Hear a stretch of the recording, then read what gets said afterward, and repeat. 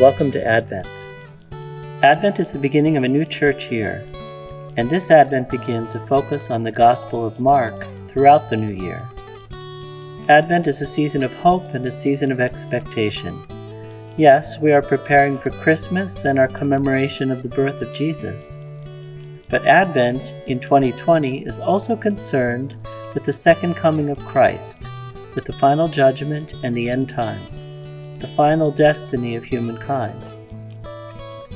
On this first Sunday of Advent, Mark's Gospel tells us to be watchful, be alert.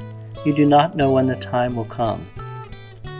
St. Paul's message is a little more comforting and hopeful. I give thanks to God always on your account for the grace of God bestowed on you in Christ Jesus.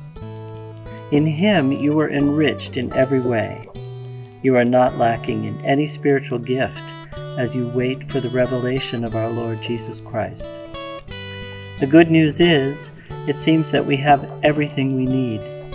Christ has come, and we are now the body of Christ, Corpus Christi, and we are called into unity with God through Jesus Christ. Let us pray for one another and our world as we enter this holy and hope filled season. May we be the hands and feet and voice of Christ this year. I pray for many blessings for each of you and the peace of Christ in your home.